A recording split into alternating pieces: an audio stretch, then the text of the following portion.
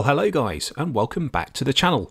I think it's about time I gave you an update on where I've got to with the RS style spoiler project for the Fiesta.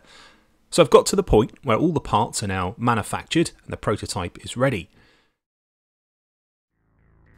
I'm now working on transferring those prototypes into moulds so I'm able to produce them at a higher quality and at higher quantity. So what you can see here is one of the vertical strakes I now need to split the mould and trim it and extract the parts.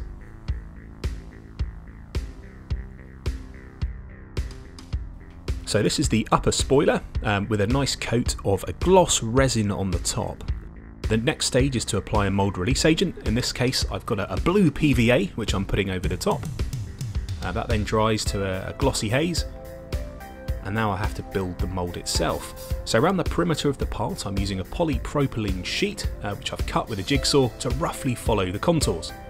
I'm then using some household insulation and this is a, a polyurethane foam which I'm hand cutting and sanding to give some support to that plastic running around the perimeter of the part.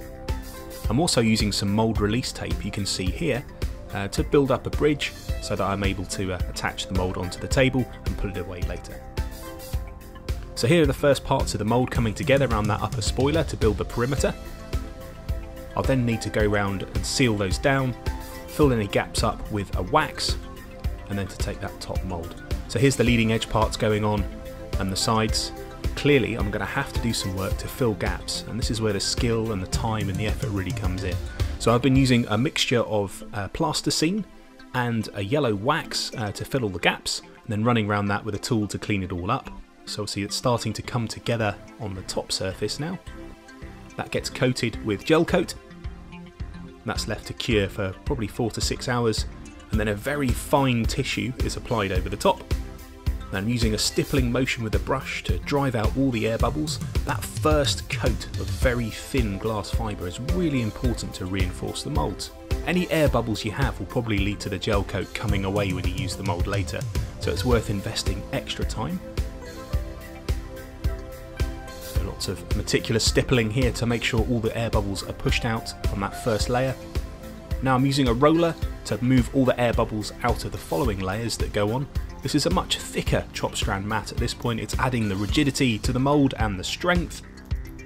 But that coupling coat that was put on the thin tissue is there to make sure you've got that nice connection between these thicker layers and the more fragile gel coat underneath which makes the surface of the mould you're going to use later.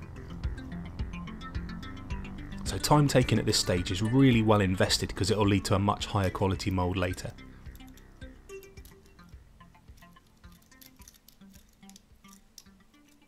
So once that's cured, the challenge is then to be able to release that and pull it away from the table and remove all of the mould, flange supports and other pieces so you can go and get to the part. So it looks like that's come away nicely. Made a bit of a mess of my table, ripping up all the paper I put down, but hey, that's life. So let's take a look at this thing, peeling off those edges.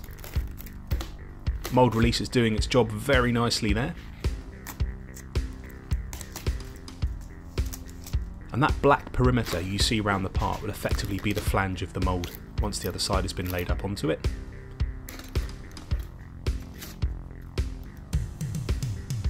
So now that inner surface of course will need to be prepped with a mould release uh, ready for the second side of the mould to be finished off. And all the wax now being removed with the edge of a wooden stirrer stick to get a nice crisp edge between the mould and the flange. That can be reused for later on other projects. It's quite a satisfying process actually chasing the wax around the outside of the part.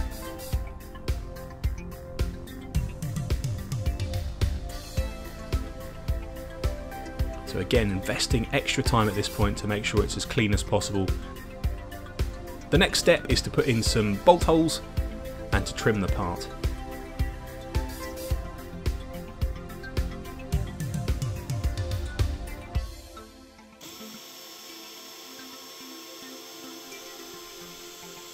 Extracting all the dust away from the holes there so they're all round the perimeter on the outside of the mould flanges, ready for clamping the part together later once it's been laid up with glass fibre. And now using the Dremel and the trusty Dyson vacuum cleaner to extract all the dust You really don't want to be breathing this kind of thing in, so make sure you have a mask if you're trying to do your own project like this, and a pair of gloves and goggles as well. So now just running around the outside with that diamond disc and just trimming everything back. The nice thing about using the diamond disc on this rather than a traditional cutting wheel is you actually get quite a smooth edge to the part so it's not going to cut your fingers when you handle it later with splinters and other sharp edges. And discarding the flanges you can see the finished mould coming together. The next challenge is going to be splitting those two layers. The trick is to look for that little hairline crack between the two layers of gel coat on the upper and lower surface, and to drive in a chisel. And I've got some cheap 3D printed wedges which I'm then tapping in and chasing that crack all the way around the perimeter of the part.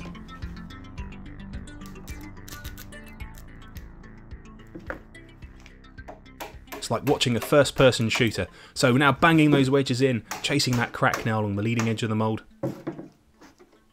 Due to the complex curvature of that spoiler, it does take a little bit of extra effort to pull the parts open, but once you have, it's ready to rock and roll. Now we're moving on to the lower spoiler. Again, this has had a coat of that XCR surface resin to make it nice and glossy, ready for taking a mould. Exactly the same process, so I'm using the polypropylene sheet to build up a perimeter around the outside of the lower mould, but I've had to build up quite a lot more additional thickness to help manage the transition between the tabletop and the part to make that first mould.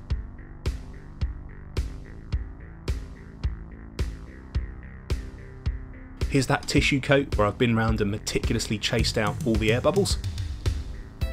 That's left for a few hours and then the thicker coat of chop strand mat goes on to give the strength uh, and then I'll be rolling that out shortly.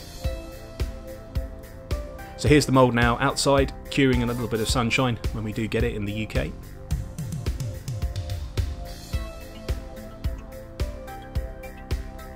And now after the trimming process, we're wedging that apart. But unfortunately, I managed to break the buck underneath into that prototype part on my lower spoiler, lovingly handcrafted and now destroyed with a moment of uh, accidental handling. so you can actually see on the surface there's still a lot of the mould release agent left inside the mould. So that will need to be scrubbed away and cleaned up. So the first step, this is largely water soluble stuff actually, is leave it just soaking with a bit of water and to enjoy some gratuitous slow motion replays. So all those yellow regions are wax which are still retained in some of the surface pores of the mould. So I'll be going around with some washing up liquid and a scrubbing brush to try and get the worst of those off. But of course, before I, I, use this in anger to make production parts, I'm really looking forward to sharing those next steps with you. So I'm going to be going on to sanding and finishing the moulds, polishing them up to a mirror surface finish, and applying a first few coats of mould release agent ready to take a production part. So all the parts have had a good wash, and now just rinsing away as much of that residue as I can. So there's a lot of time and effort that goes into manufacturing these parts.